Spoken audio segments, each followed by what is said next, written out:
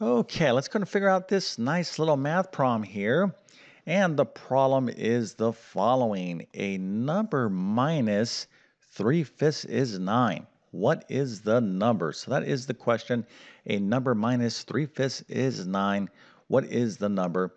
If you know how to answer this question correctly, or even if you don't, uh, know how to answer correctly, go ahead and at least attempt it and put your answer into the comment section. I'm going to show you the correct answer here uh, in just one second. And then, of course, we're going to walk through the solution step by step. But uh, anyways, before we get going, let me quickly introduce myself. My name is John. I'm the founder of TC Math Academy. I'm also a middle and high school math teacher. I've been teaching math for decades, not years, but decades. So that must mean I love teaching math, and that's what it means. I, uh, you know, truly am passionate about helping people learn mathematics. Okay, and I can tell you right now, uh, all students can be successful in math. Uh, especially those of you that are struggling in math. Okay, if you're like listening to this and you're like, yeah, well, you're talking about other people. You're not talking about me because I failed math. I'm failing right now. I'm just terrible. I'm just naturally bad at math. There is no such thing. Yes, there's always exceptions to rules. You know, there are uh, uh, people out there with you know pretty uh, challenging uh, learning disorders. Okay, that aside, and even those students, okay, even when if you have a learning disorder, if you happen to be one, you could still be successful. How would I know that? Because I work with so many students. It's about really what you think you're capable of doing, and you can you're capable of doing so much more than you think you can, especially if you're struggling in math. You basically need three things to be successful in math. One, you need to work hard. You need the desire to want to learn math, okay?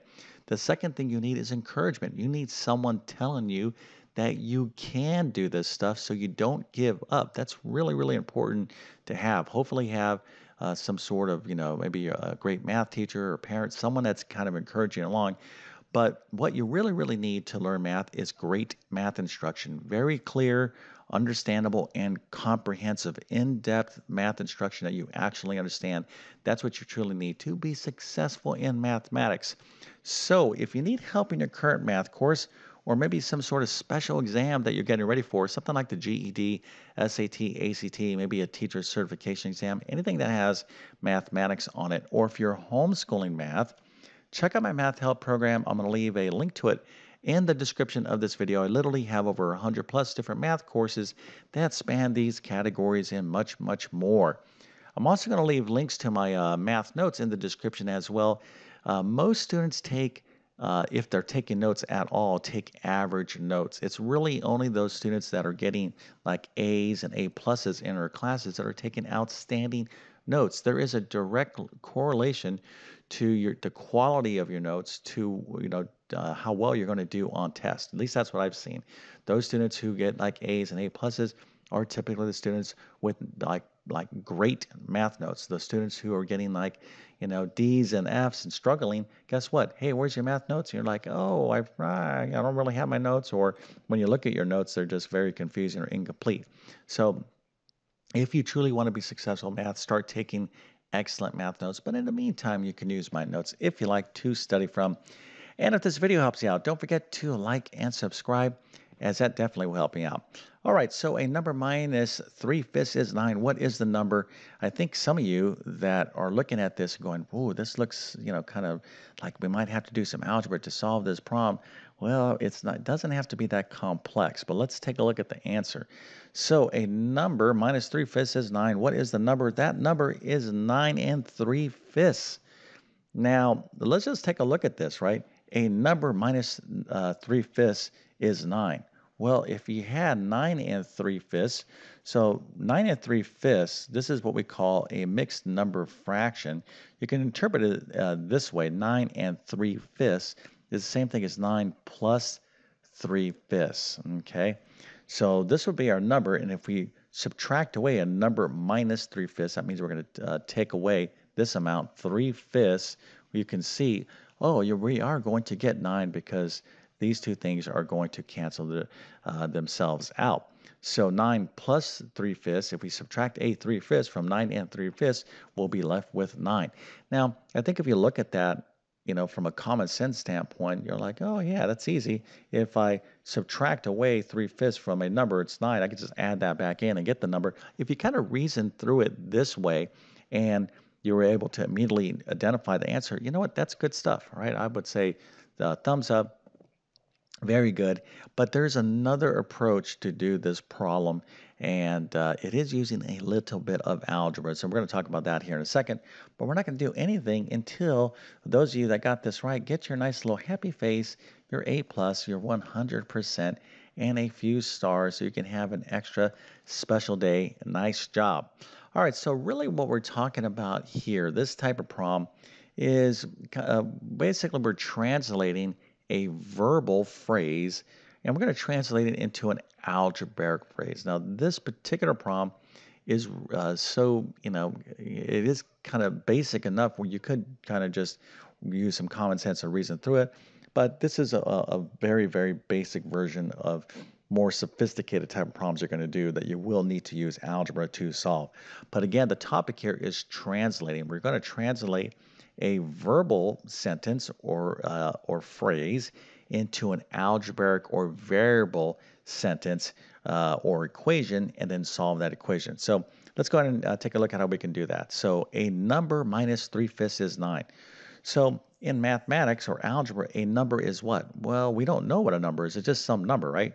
So this is where you want to use a variable. That number could be x, right? x could represent a number, y, z, a. These are just um, variables. A variable represents a number. So in algebra, when we use a variable, we're just representing a number. So a number, let's call that number, let's call our number x. So we're just going to go through and just translate uh, uh, word by word this verbal uh, phrase into an algebraic equation. So a number, okay, again, we're going to put x minus, well, that's pretty easy. That means the minus sign. We're talking about subtraction here. So a number minus what? 3 fifths. Well, we'll put 3 fifths. So we got a number, some number, minus 3 fifths is. Anytime you see the word is, that means equal, okay, or equal to. So a number minus 3 fifths is or is equal to. So we'll put the equal uh, sign there. Uh, is equal to what? 9. Is 9. So we put a 9 there. So now we translated this verbal uh, phrase or sentence into a variable uh, phrase or sentence or equation, an algebraic equation. So we have x minus 3 fifths is equal to 9. So this is really what we're talking about right here. x minus 3 fifths is equal to 9.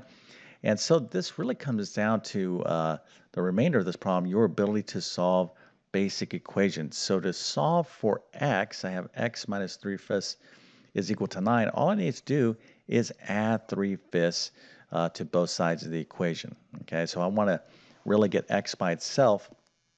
If I add, let's just do a, a real simple example. If I have x minus 2 is equal to 7, well, what number minus 2 is equal to 7? That, of course, that number would be 9, right?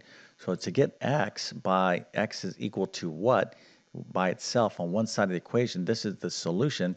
So I have x minus 2. I don't want x minus 2. I want x is equal to. So how can I get rid of this negative 2? Well, I can just add a 2 here.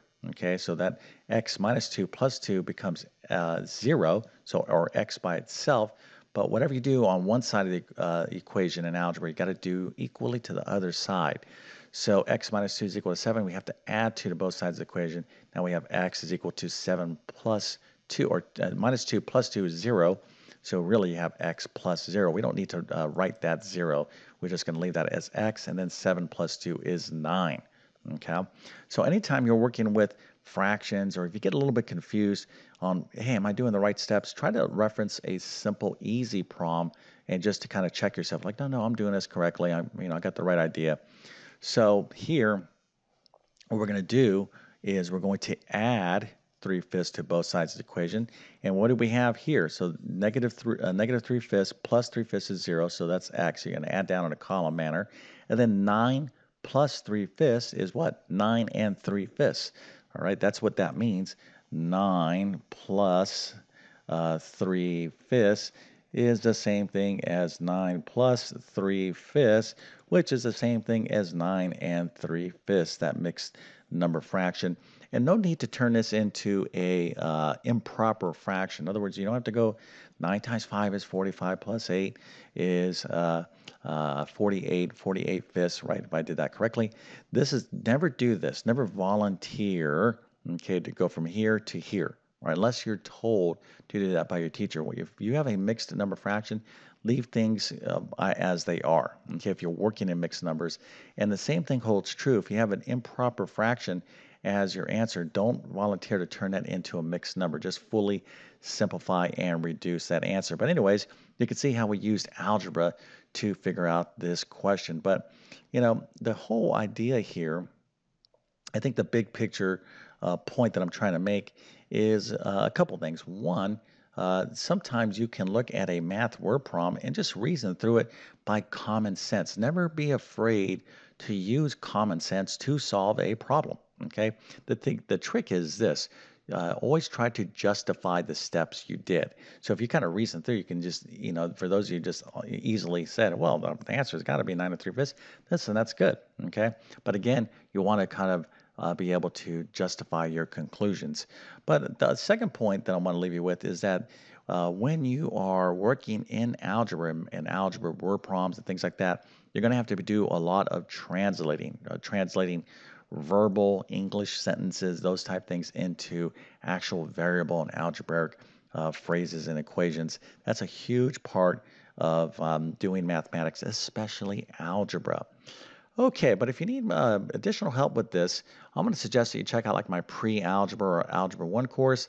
Uh, I believe in the first chapter I have a whole uh, section on translating, and then this uh, this skill um, really comes up over and over again, especially in word problems. So, uh, again, I have tons of videos on my YouTube channel, and you can check out all my courses in terms of uh, more help um, or additional practice with word problems. But uh, here is the deal, okay? If you yourself are not actually practicing, or if you just watch watching me do problems, watching videos is not the same as you learning math. Okay, I'll leave you with this analogy because I like it the most. If you wanted to improve and um, make uh, your basketball shots, right? And say, hey, I'm going to get better at basketball. Would you watch the NBA? Would you watch your favorite basketball players all day long? Let's say you watch 10 hours a day. Will that make you better?